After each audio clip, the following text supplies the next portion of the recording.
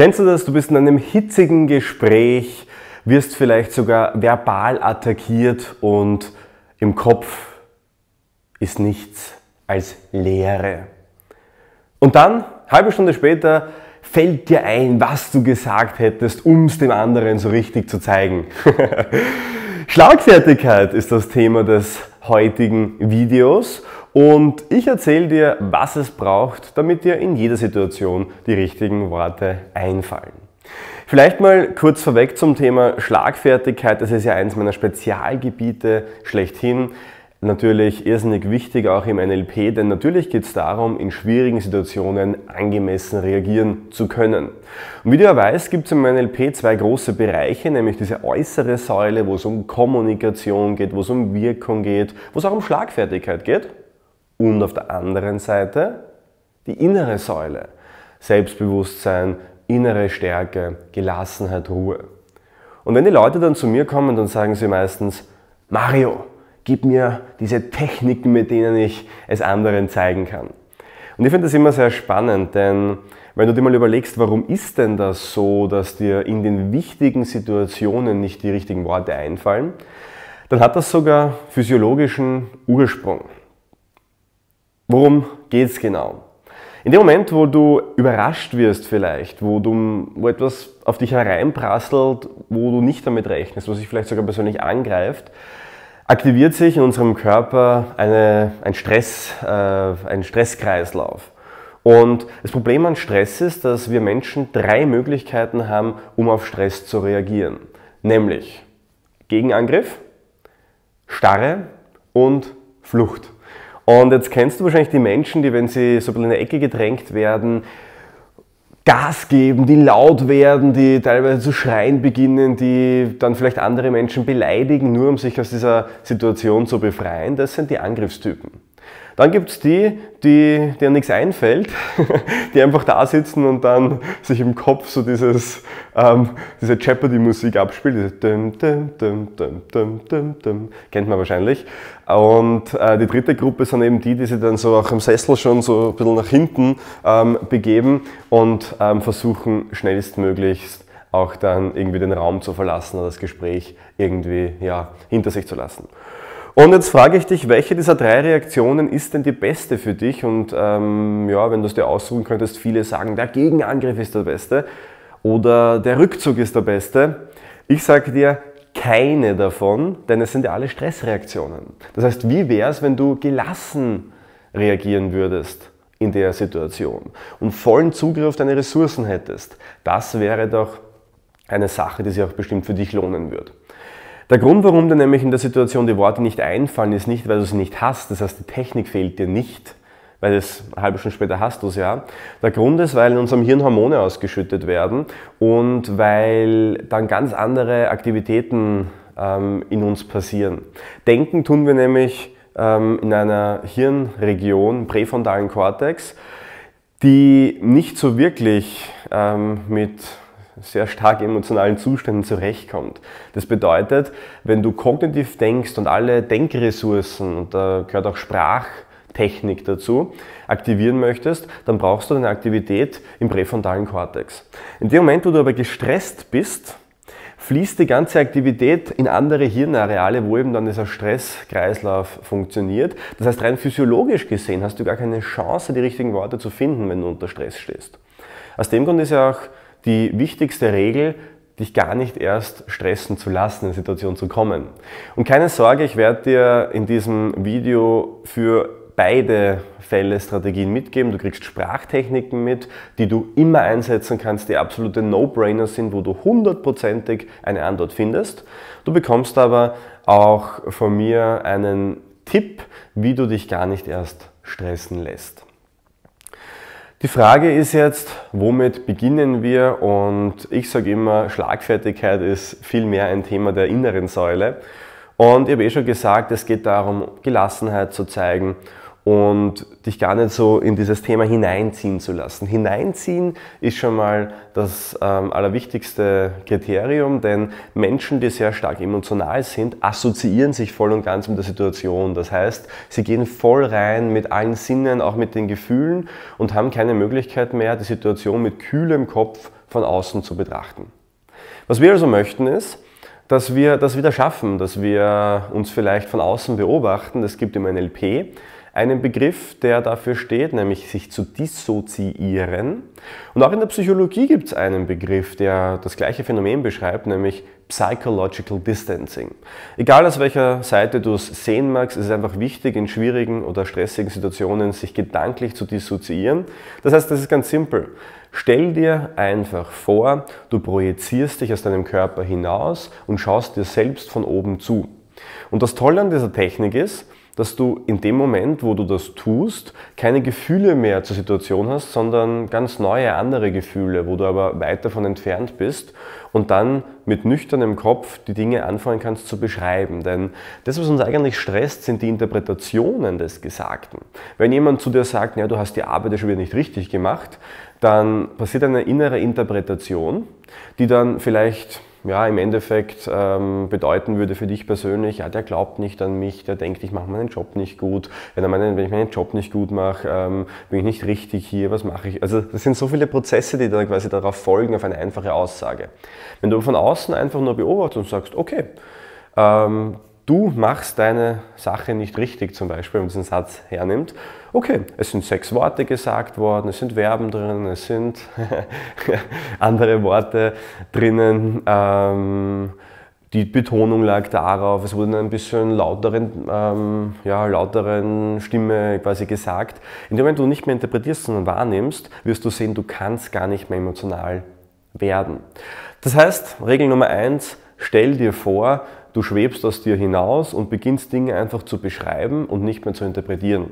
Wenn jemand zum Beispiel aufsteht und beginnt zu schreien und ähm, quasi dich zu beschimpfen, dann wäre die Wahrnehmung davon, oh, der Körper erhebt sich, die Stimme wird lauter, die Augen öffnen sich etwas mehr, die Zähne werden sichtbar und ähm, das Sprechtempo erhöht sich. Und du merkst, wenn du so beschreibst, ist es unmöglich, dich zu stressen, weil du ja auf einem ganz anderen Level, auf einer Metaebene dir über diese Dinge Gedanken machst. Die zweite Möglichkeit, um diese innere Säule in den Griff zu bekommen, ist das Ankern. Ankern ist eine Technik im NLP, wo du dir ressourcenvolle Zustände auf Knopfdruck holen kannst. Wenn dich dieses Thema interessiert, dann kommentiere bitte unten ähm, ja, äh, in, also unter diesem Video weil wir haben da sehr gute Möglichkeiten und Strategien und können dir da eine Möglichkeit geben, eine sehr genaue Anleitung zu bekommen, wie du zum Beispiel dir Gelassenheit, wie du dir Ruhe, wie du dir vielleicht sogar Spaß in solchen Situationen ankern kannst und ganz anders damit umgehst. Ankern ist eine sehr mächtige Technik. Und wenn du dann mal deine innere Säule in den Griff bekommen hast, dann geht es darum, außen quasi die richtigen ähm, Worte auch zu finden und da gibt es im NLP, was die Schlagfertigkeit anbelangt, eine Subkategorie des Reframings, nämlich die Slate of Mouth Muster. Slate of Mouth äh, stammt also in Abwandlung an Slate of Hands, also Fingerfertigkeit, könnte Slate of Mouth so diese Mund- oder Zungenfertigkeit heißen. Einfach mit schneller Zunge zu sprechen. Und das ist eine Fähigkeit, die man auch bei der Schlagfertigkeit braucht. Und im Endeffekt geht es bei der Schlagfertigkeit vor allem darum, dass man einen anderen Blickwinkel auf die Sachen zieht, dass man vielleicht ein ganz neuartiges Sichtfeld eröffnet und das vielleicht sogar mit etwas Humor betrachtet. Also ich gebe dir ein einfaches Beispiel. Das erste Slate of Mouth Schlagfertigkeitsmuster, das ich dir mitgeben möchte, ist nämlich ein sehr einfaches und nennt sich das Muster der Intention.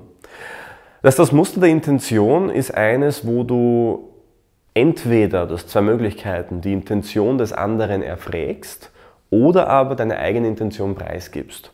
Also wenn jetzt jemand zu dir sagt, du machst deine Arbeit ja nie richtig, dann könntest du in der Variante 1 den anderen fragen, was ist denn deine Absicht, mir das jetzt hier so zu sagen? Und in dem Moment, wo du diese Frage stellst, passieren auch wieder mehrere Dinge. Und zwar einerseits verschaffst du dir mal Zeit, um genau diese Dinge zu machen, nämlich dich rauszubeamen, gelassener zu werden, Dinge zu beschreiben und gar nicht so emotional zu werden, weil das ist ja das Erste. Das heißt, du hast Zeit nachzudenken und äh, was du auch als nächstes sagst.